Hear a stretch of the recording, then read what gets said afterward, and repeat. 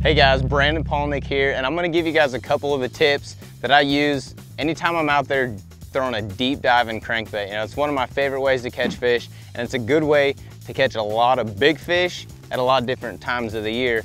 So one of the big key things is, obviously you're gonna use your electronics most of the time to find the areas that you're fishing, whether it's a ditch, rock pile, whatever it may be, you're gonna wanna find that. And you know, a, a good example of that is this year's Bassmaster Elite event at Lake Havasu. Right, the bank was perfectly flat, but I found those little nice rocky points coming out and they met mud. So a lot of times I always look for an edge.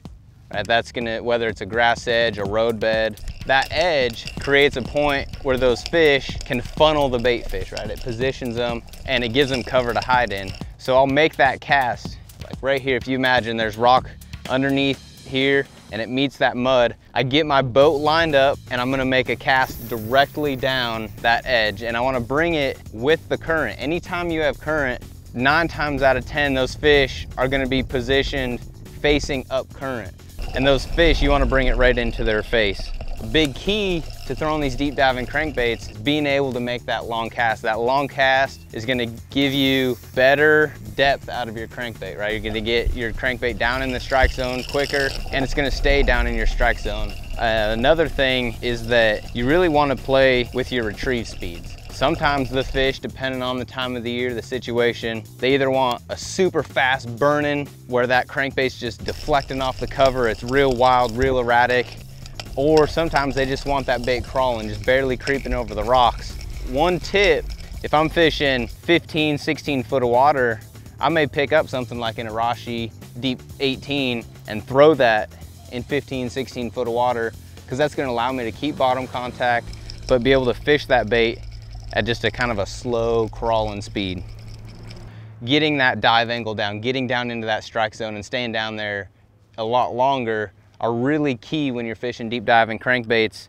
And you know, one thing that allows you to be able to do that is a circuit board lip. That thinner design allows that bait to take less water movement to get that bait to move so it's gonna dive quicker, right? The, when we reel that bait down, it's gonna almost dive vertically down into the water column, down into our strike zone, and it's gonna stay down there longer. It allows us to be able to get more bites that way. We're down in there, we're where the fish live, you gotta make sure that anytime you're fishing a deep diving crankbait especially is that that bait is running straight and true every single time all the way back to the boat.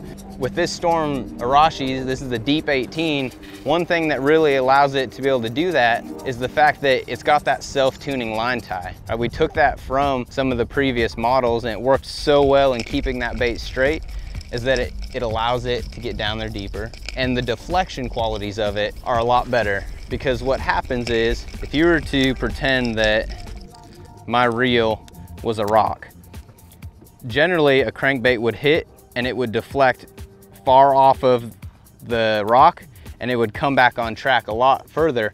Well, if that fish is sitting right behind the rock, he may never see it. With the self-tuning line tie, it actually moves side to side. It keeps it on track, true, all the way through the cast. And when it hits, it deflects and that self-tuning line tie kicks in and it puts it right back into the fish's face. And that will trigger a lot of strikes when a lot of crankbaits will actually miss those fish. One more key feature, being able to put big hooks on there. When I'm making those long casts, I'm fishing for big fish, I wanna be able to get a good hook in those fish and having rotated hook hangers where they're actually perpendicular with the body allows me to upgrade my hooks, put a larger size on there, and it's just gonna give me a little bit more opportunity to get a better hook in those fish and land more fish when I get them close to the boat.